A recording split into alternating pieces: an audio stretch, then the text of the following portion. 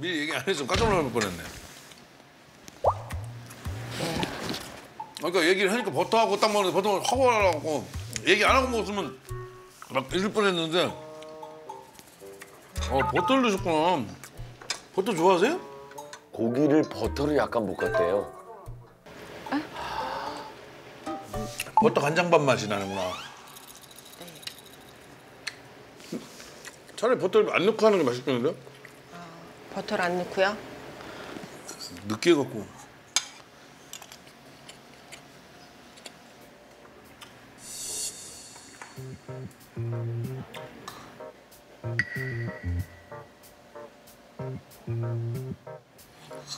이거는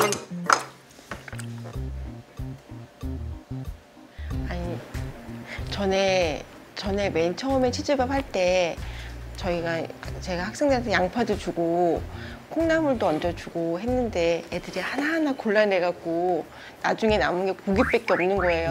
음, 그래서 다시 옛날처럼 옛날하고 약간 다르긴 한데 그렇게 한번 해봤거든요.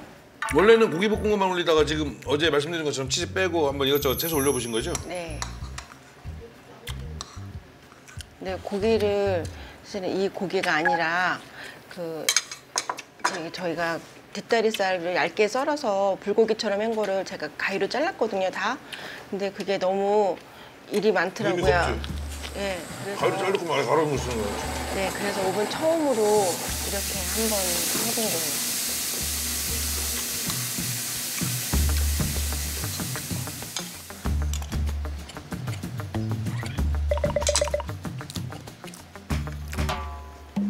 어? 괜찮은데?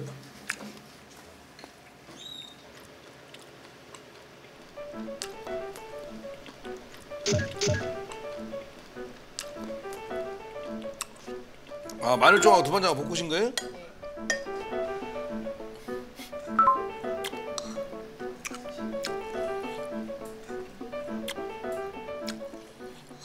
이것도 맛있는데? 진짜요? 음 나쁘지 않은데? 나쁘지 않은데. 어, 저도 괜찮아. 좋아 보여요.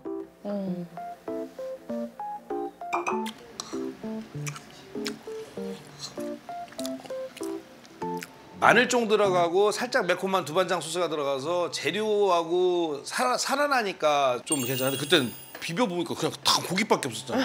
그렇죠? 네. 사장님이 그때는 모든 걸 막 치즈에 다 덮어버린 거야. 그때는 그냥 고기 볶아놓은 거에 치즈만 다 덮어버리니까 느낌은 아 고기 볶은 거에 치즈에 고소한 맛이 들어가니까 맛있을 것 같지만 이게 치즈가 익으면서 기름이 빠져요. 기름이 결국 기름이 흥건한 밥이 돼버리는 거야. 네.